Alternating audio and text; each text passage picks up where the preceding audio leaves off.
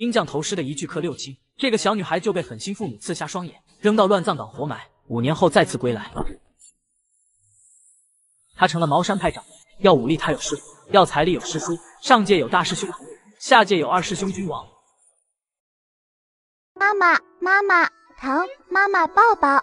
我生了七个儿子，才心心念念得来的宝贝女儿啊，你怎么就是个灾星呢？念念，别怪妈妈，要怪就怪你的命不好。东南亚那边的大师说了，你的生辰八字克六亲，早晚有一天会让陆家家破人亡的，必须封了你的七窍，把你活埋了。然后我们再去领养一个命格旺的女婴，这样才能保证陆家富贵荣华、长盛不衰。念念，你永远都是妈妈的宝贝女儿，妈妈哪里舍得让你受活埋的痛苦？妈妈这就让你走得快一点。妈妈，念念疼，要抱抱。妈妈，念念要抱抱。把大小姐带去乱葬岗埋了。是。师兄，快给我一颗回生丹。你是不是脑子有啥问题？你带个死孩子回来干什么？这是我在土里挖的。他因为出生时辰不好，被狠心的父母埋了。但他遇见了我，这就是他的缘分，命不该绝。我要养他。你瞧瞧，咱锅里还有几粒米，你拿什么养他？这个你别管，我搬砖、挖煤、卖裤衩，我都要养活他。你赶紧拿一颗回声丹喂他吃了。老者冷哼一声，不再说话，将视线移到了他怀里的女娃娃身上。没想到啊，这女娃娃竟然是阴年阴月阴日阴时出生的，天生就是吃玄学这碗饭的人了。正愁着去哪里再收个天赋异禀的小徒弟来继承茅山，这不就送上门来了吗？明天我就去买一根棒棒糖，让这小女娃在茅山掌门任命书上按下手印。虽然他心里打定了主意，但面上却装作为难。这女娃娃可以留下，但我们茅山不养不相干的人，往后她得跟我姓。今日初七又逢旭日东升，从今后她便名为燕晨七。五年后，华都陆家，今天是陆家主陆建廷的五十八岁生日。正当热闹的气氛推动到高潮，随后便见一行人大摇大摆的走了进来。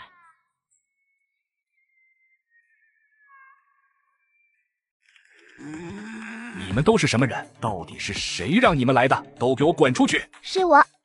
只见一位女孩正拖着一口木房子站在门口。臭丫头，你是谁？竟然敢来闹我的生日宴！少女冷笑，手上微微用力，木房子便飞了出去。小姑娘身手不错，只是不知道我陆家与你有何怨何仇，竟然让你在今天这样大喜的日子来如此触我们的眉头。陆家主还是先打开看看我给你送的礼物吧。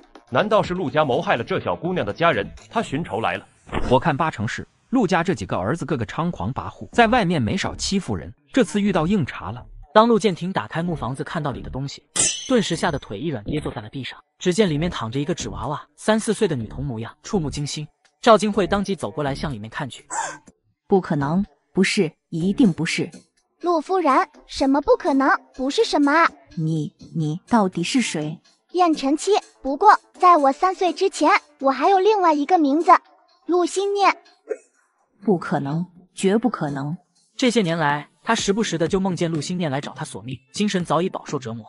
妈妈，你别听他胡说，我才是你的心念啊！赵金慧看了看他，这才缓缓的反应了过来。当初陆心念的双眼可是被他弄瞎的，而这个叫燕晨七的全身都好好的，怎么都不可能是陆心念。我看你是想钱想疯了吧？我的女儿心念好好的在这呢，你就敢来冒充她，真是胆大妄为，不知廉耻！她是你的亲生女儿吗？五年前你们认为我是灾星，连夜封住我的七窍，将我活埋，又从孤儿院领了一个跟我年纪相仿、八字旺的女童回来代替我。你们以为这样陆家就能永远繁荣昌盛？没想到吧，我被人救活了。更没想到吧，我竟然还能记住你们的恶行。天哪，怪不得陆大小姐小时候陆家把她送出国了两年，回来不仅变了样，还改了名字。原来陆新瑶根本就是个冒牌货。这正牌的陆大小姐也太可怜了，好在被人救活了。如今她肯定是拜得高人为师，归来复仇，太飒了。没有，我没有，这就是我的念念，我的亲生女儿燕晨曦。这个臭丫头莫名其妙的跑来污蔑我，大家不要相信她。谁是你的亲生女儿？咱们来现场做个鉴定，不就知道了？为了公平公正，你我还有第三方，咱们各找一家鉴定中心，如何？鹰将投尸的一句克六亲。这个小女孩就被狠心父母刺瞎双眼，扔到乱葬岗活埋。五年后再次归来，他成了茅山派掌门。要武力，他有师傅；要财力，有师叔。上界有大师兄，下界有二师兄君王。得知燕晨七要做鉴定，赵金慧立马拒绝，而陆星瑶却玩起了白莲花的手段。而燕晨七不想看到他这个白莲泡泡茶，立马给了他一大笔毒。而陆家七儿子陆明雷看见这一幕，当即就向燕晨七刺去。然而燕晨七灵机一动，直接让他刺中，而后便让他直接进入豪华场所，包吃包住，不用愁。晚上八点，挨饿的燕晨七拿出手机点了个外卖，可燕晨七没想到给他送餐的外卖小哥竟然是他三哥许华西，还带着他大侄女许悠悠。小七，怎么是你？你怎么在医院？生什么病了？姑姑，你怎么住院了？你该不会要洗了吧？别瞎说，你姑姑好着呢。我好着呢，就是胃有点不舒服，来医院调理调理。三哥，你可千万别告诉爸妈啊！他说的爸妈是他的养父母，当年他师傅和师叔根本没法养他这个三岁的女儿，正好碰到他养母去茅山脚下的道观求女，他师傅就把他给了他养母，先养了几年。养父母家有四个儿子，虽然不富裕，但家中所有人都对他格外的疼爱。放心吧，我不说。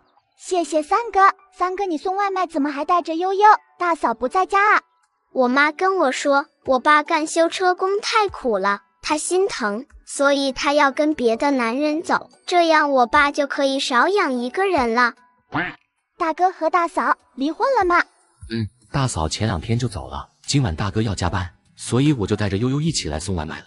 好吧。等三哥和大侄女走后，他拨通了他二师兄楚燕的电话。难得啊，小师妹还能想起来给我打电话。二师兄，借点钱呗。你要钱干什么？小师叔不是在世界银行给你存了一万亿吗？那钱的我十岁才能拿出来，还差两个月呢。但我妈马上就要过生日了，我想给她买个大金镯子。我这都是冥币，我敢借，谁敢收？那你直接给我一个大金镯子。虽然我这黄金堆成山，但那都是死了千年的鬼王孝敬我的，我敢给。你妈敢戴吗？那就是这点忙都不帮呗。以后再有恶鬼从地府逃出来，你也别让我帮忙抓。你作为茅山的掌门，维护人间安稳，这是你的职责。你只要良心不疼，我无所谓。行，楚燕，咱俩之间没爱了，我要跟你断绝师兄妹关系。说完，他就把电话挂了。可没想到，三秒之后，他面前便出现，正是他二师兄楚燕。小丫头脾气还是这么倔，不是我不借给你钱，我的钱都是你的，只是师傅有规定。在你历练期间，茅山任何人不准给你帮助。眼看还有大半个月便到期限，你就不能再忍忍？燕晨七自然知道师命不可违，他也就是习惯性的跟他二师兄斗斗嘴巴。你说你也是够笨的，算命看相，你样样精通，自己怎么就连一个金镯子的钱都挣不到？说到这，燕晨七就来气。你没历练过啊？你不知道历练期间无论给人看什么，收费都不能超过二十块吗？我每天累死累活，口干舌燥，一天最多赚三五百，交完房租都不够吃饭的。楚燕没有接他的话，只是看向了他的小腹。你到底想要对付什么人，竟然如此伤害自己？说着，他便抬手聚了灵气，想要为烟尘七愈合伤口。不要，我今天去陆家了，这伤是我故意弄的，在他还没判刑之前，不能消除痕迹。你是不是脑子有什么大病？对付陆家有很多种办法，为什么要伤害自己？哪有那么严重？这点伤对我来说不就跟挠痒痒一样吗？行了，既然你不愿意借钱，赶紧走吧，这里可是医院。要是让院长老头头知道你这堂堂地府的阎君来了，绝对要请十八个道士来驱赶你。哼，怕是他和那十八个道士都活腻了。但楚燕还是走了，只不过两个小时后他又来了。看着病床上熟睡的烟尘七，他就那样坐在旁边，静静的看了他一夜，直到天边泛白才离开。早上，烟尘七刚吃完早饭，赵金慧便趾高气扬的来了。我不知道你是从哪里听来的风言风语，非要说我害了我的亲生女儿。但我知道你到我们家来闹这么一出，肯定是为了钱。要多少，直说吧。我不要钱，不是你说我的生辰八字克六亲，会让陆家家破人亡吗？我必须不能让你的话落空啊！别装了，我的女儿陆新娘活得好好的，你绝不可能是她。你死皮赖脸的要缠上我们家，不是为了钱，还是为了什么？说着，他拿出了一张银行卡扔到燕晨七面前。这里有一个亿，够了吧？写一份谅解书，让警察放了我儿子。哈！你你竟敢如此猖狂，是想要杀人吗？你千万别污蔑我，嘎人可是犯法的。我只是要把你的银行卡还给你，是你没接住而已。你别在这烦我了，赶紧滚，不然我让警察来抬你出去。好，既然你要敬酒不吃吃罚酒，我定会让你吃不完兜着走。燕晨七，若是我儿子真的进了坐了牢，我要你的命！我也告诉你，你儿子这牢坐定了，有本事你现在就来弄死我！哼，你尽管狂妄，等鉴定报告出来，我看你这个骗子还怎么蹦的！鹰将头师的一句克六亲，这个小女孩就被狠心父母刺瞎双眼，扔到乱葬岗活埋，五年后再次归来。他成了茅山派掌门，要武力他有师傅，要财力有师叔，上界有大师兄统领，下界有二师兄君王。赵金慧走后，燕晨七就立马买了一个针孔摄像头安装在病房，接着又睡了个回笼觉。中午的时候，燕晨七还在睡梦中，就被病房里嘈杂的声音吵醒了。只见陆家人又来了，而且还有扛着摄像机的记者。什么情况？陆家这是要阴我，还是要道德绑架我？还没来得及细想，赵金慧便哭着对他说：“念念，我可怜的女儿啊，你打妈妈吧！妈妈竟然没认出来你才是妈妈的亲生女儿，我的宝贝，你这些年在外面受苦了。”陆建廷满脸沉重，也使劲的挤出了一滴眼泪。念念啊，这事与你妈妈无关，都是爸爸的错。五年前，你七哥带你出去玩，却不小心把你弄丢了。你可是你妈的心头肉啊！我怕你妈承受不了，所以就骗她说把你送出国去学习了。然后我就一直偷偷的找你，可惜怎么都找不到。过了两年，你妈妈都对你思念成疾了，我没办法，才领养了新瑶回来，说她是你。好在小孩子长得快。即便新瑶跟你容貌不一样，你妈妈也没有怀疑。念念，都是爸爸的错，爸爸不求你原谅，但求你别怪你的妈妈。怪我，都怪我，我连自己的亲生女儿都认不出来，我算什么母亲？我该死！燕晨曦小姐，经过鉴定结果，警方已经证实了你才是陆家真正的千金大小姐，那陆明雷就是你的亲哥哥。你还会继续追责他刺伤你这件事吗？原来是鉴定报告出来了，应该是陆家抵赖不掉，所以找来了记者演苦肉计吧。天子犯法与庶民同罪，别管陆明雷是谁，他伤了人就要承担应有责任。那燕晨七小姐，请问你之前说陆先生和陆夫人嫌弃你的生辰把你埋了，这是事实吗？是。请问你有什么证据吗？这都是我亲身经历的，我需要怎么证明？你说陆家人封了你的七窍，那为什么现在你全身都是完好无损的？我的师傅是个道士，他医治好了我。既然你的师傅这么厉害，他怎么不出来给病人医治？我说了，他是个道士，不是大夫。我继承了他老人家的衣钵，谁要想算命，尽管来找我。那你看看我什么时候能结婚，什么时候能发财？你老婆上个月刚死，你就这么急着再婚？你你怎么知道？我还知道是你和别人偷偷秀恩爱，被你老婆撞见，她才气得心脏病犯了去世的。至于发财。你这辈子到土里那天都是个老赖，我才没有！你别胡说。这时大家都没想到，陆星瑶竟然扑通对着烟尘七跪了下来。姐姐，这些年都是我顶替了你，享了你的荣华富贵。七哥也是为了保护我，才不小心伤的你。求求你放了七哥吧，只要你写一份谅解书，让我给你当牛做马都行。看着他又开始了白莲泡茶，烟尘七本能就想抬手，可一想到病房里的针孔摄像头，便作罢了。你以为你那点小心思我不知道？你不就是想道德绑架我吗？不就是为了体现出陆明雷为了保护你才伤的我？他只疼爱你这假妹妹，厌恶我这个真妹妹吗？还顺便再来个挑拨离间？放心吧，这辈子我都不可能原谅你们，更不可能再姓陆。至于陆明雷，先不说他伤了我的事，就说被他伤害的那些少女，没有十个也有八个吧。他不吃这碗免费的饭，天理不容。燕晨曦，你赵金慧刚想呵斥。想到记者的摄像机，便又语气软了下来。念念啊，你误会你七哥了。他二十几岁了，连恋爱都没有谈几回，怎么可能去伤害女孩子呢？念念，你回来了，咱们一家好不容易能团聚了，当妈求求你了，你原谅你七哥吧。住口！当年你买我的时候，我才三岁，我永远都不会忘记。你这么狠心的女人，怎么还敢称是我妈？你不配！赵金慧委屈巴巴转身对那些记者：“今天是我们找回亲生女儿的大喜日子，请各位多给我们一些私人空间，采访就到这里吧。”这记者是他找过来的，他一发话，自然全都走了。关上门后，赵金慧和陆家人都变了脸，跪在地上的陆星瑶也站起了身：“怎么摆拍完事了就不装了？虽然你才是我们的亲生女儿，但这么多年我们早已把瑶瑶当成亲生的了，对你并无感情。而且瑶瑶才华出众，知书达理。”只有她才配当我们陆家的大小姐，陆家容不下你，识相的写了谅解书，拿钱走人。无论你对我们有多大的恨，我都劝你不要以鸡蛋碰石头，不然这华都以后你都别想踏进来半步。啊？难道你们还想再买我一次？你记错了，没人买你。嘎人那是死罪，所以无论怎样。他都不可能承认。哼，陆明雷犯了错，必须要承担责任。你们给我多少钱，我都不可能写谅解书。至于不让我踏进华都，也不看看你是个什么东西，还能管住我？臭丫头，你别太猖狂！我可没有你们猖狂，自己的亲生女儿都能埋。行了，都别在我这没脸没皮的找羞辱了，滚吧！陆家老四陆明伟指着燕晨七说道：“你跟谁说话呢？真觉得我们陆家好欺负是吧？我告诉你，赶紧写谅解书，要不然……”什么猫狗的都想威胁我一句，我就那么弱吗？鹰将头师的一句克六亲，这个小女孩就被狠心父母刺瞎双眼，扔到乱葬岗活埋。你竟然能站起来，你是装受伤的？看你长得人模人样的，没想到是个傻子。我身体好，恢复的快，不行吗？行，你狂，你不写谅解书，我这也报警说你打伤了明伟，你也要进小黑屋。闻言，陆明伟很配合的痛呼了起来：“哎呦，疼死我了！”好啊。那我把他打的再狠点！我的胳膊，疼死我了！赶紧报警！燕晨七刚想开骂，就看见走进来的许华西。干什么？你们都是干什么的？我是他哥，有事跟我说。你是他哪门子的哥？我才是他哥。小七他们都是什么人？